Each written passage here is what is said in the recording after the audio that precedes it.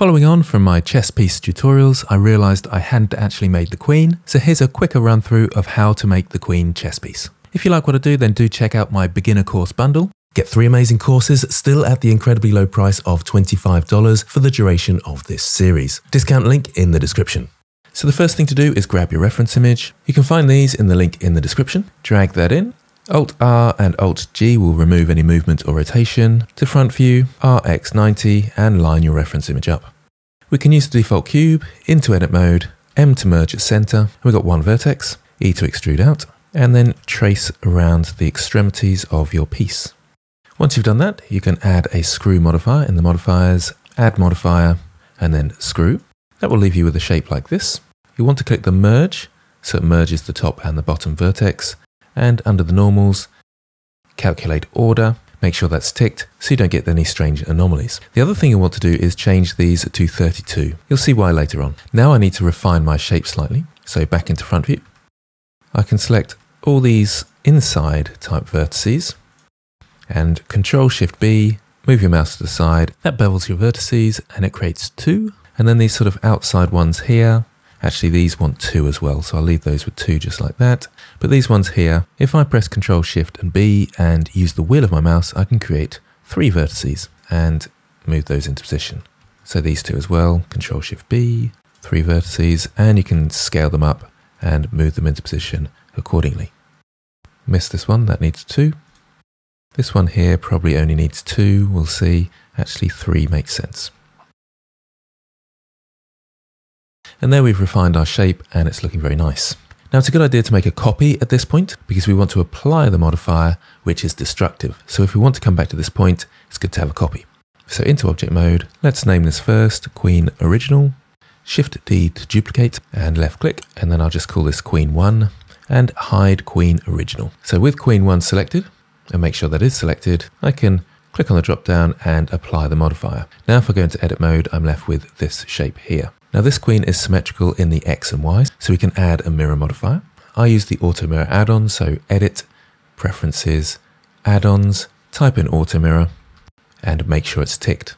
That way, when you press N to bring up your side panel, under edit, you'll have auto mirror just here, and I can auto mirror in the X axis on the positive, so this side will stay, click auto mirror, and the Y as well. The Y is on the negative because we want this side to stay, not the positive over here.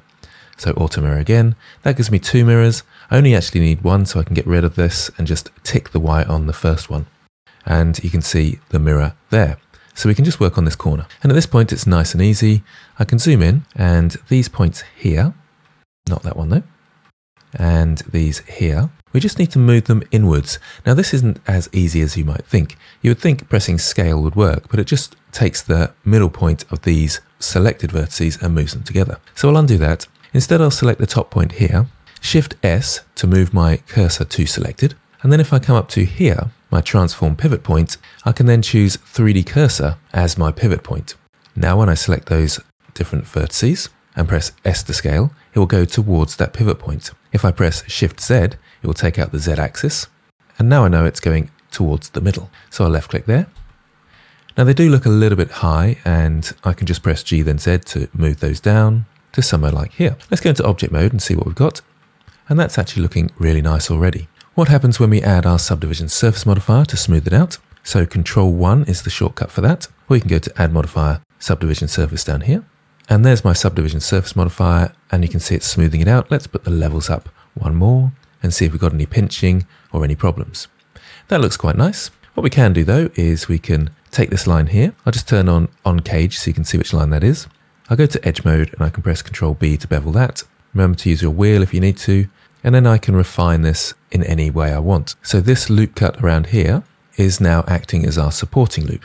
And if I press GG, I can sharpen up those edges just along here.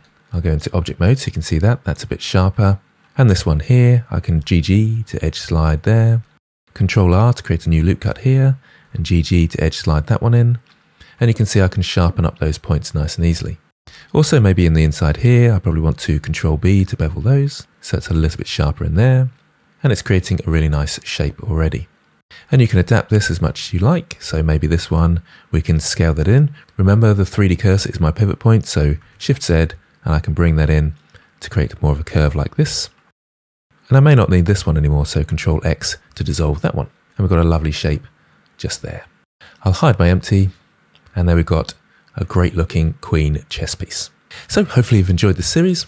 Thanks for watching, and I'll see you next time.